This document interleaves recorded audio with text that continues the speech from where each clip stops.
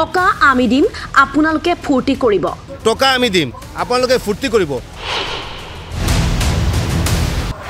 টকা আমি দিম আপোনালোকে বিভিন্ন অনুষ্ঠান পাতিব। টকা আমি দিম আপোনালোকে ভাল ভাল একদম কিবা বিভিন্ন অনুষ্ঠান পাতিব। টকা আমি দিম আপোনালোকে কেবিনেট মিটিং কৰি পলিটিকেল টুৰিজিম কৰিব। টকা আমি দিম আপোনালোকে কেবিনেট মিটিং কৰি কেনে পলিটিকেল টুৰিজিম কৰিব। অত্যাৱশ্যকীয় সা সামগ্ৰীৰ দাম বৃদ্ধি কৰি জনসাধাৰণৰ জীৱন সৰ্বশ্ৰান্ত কৰিছে ৰাজ্য চৰকাৰে। আনফালে আকৌ কৰৰ বোজাৰে জনতাক টেটু চেপা দিয়া কাৰ্যক মানি নোলোৱাৰ হুংকাৰ বিৰোধী ঐক্য মঞ্চ অসমৰ। শেহতীয়াকৈ জনতাক মাধমাৰ সোধাই জাপি দিলে কেতবোৰ নতুন কৰ।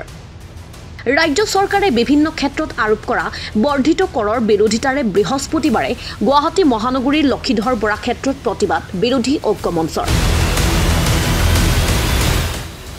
উপস্থিত থাকে ৰাজ্যসভাৰ সাংসদ অজিত কুমাৰ ভূঞা অজাপৰ সভাপতি Lurinjyoti Gogoi A P C চিৰ কাৰ্যকৰী সভাপতি তথা বিধায়ক কমলাক্ষ দেৱ পুৰকাষ্ট বিভিন্ন কৰ কাটলেৰে জনতাক চেপা দিয়াত সৰব হৈ পৰে কংগ্ৰেছ বিধায়ক কমলাক্ষ দেৱ পুৰকাষ্ট আৰু টেক্স কি আমাৰ দিব লাগে? টেক্স কি ওৱান পাৰ্চেণ্ট টেক্স কি? চেছ কি আমাৰ দিব লাগে? টেক্স আমি দিম। টকা আমি দিম। আপোনালোকে চাৰ্টাৰ চলিব। টকা আমি দিম।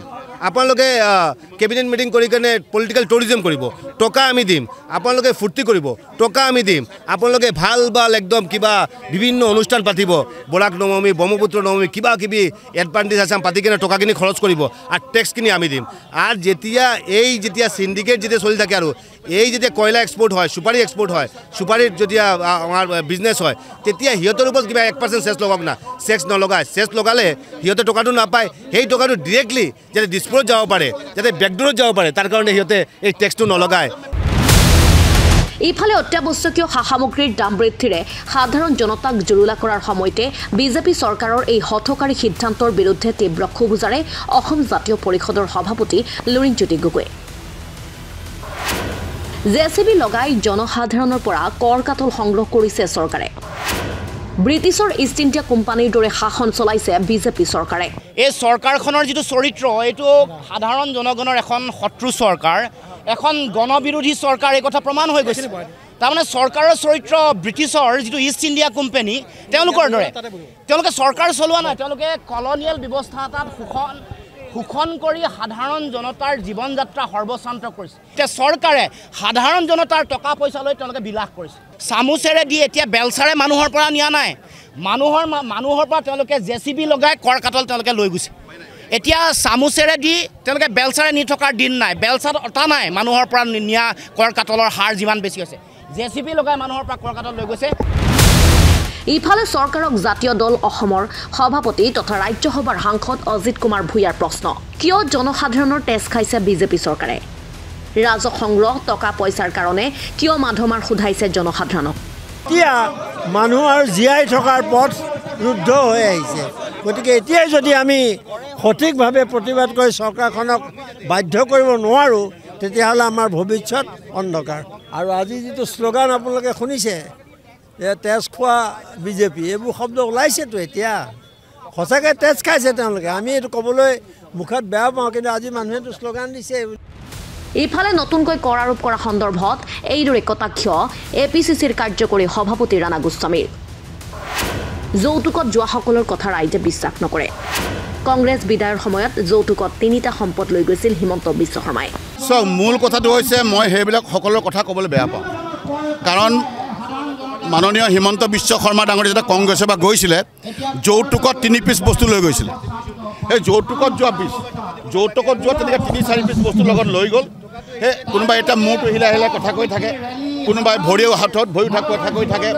আৰু সেই যৌতুকত যোৱা বস্তুকেইজনে কোৱা কথা মানুহে ৰাইজৰ অসমত মানুহে বিশ্বাস নকৰে। ইফালে বৰ্ধিত কৰ সন্দৰ্ভত ব্যতিক্ৰমী প্ৰতিবাদ অসম তৃণমূল কংগ্ৰেছৰ। হিমন্ত বিশ্ব শৰ্মা আৰু ঔৰংগজেৱৰ মাজত পাৰ্থক্য ক'ত? অমৃতৰ কল নহয় বৰ বিষৰ কল হৈছে।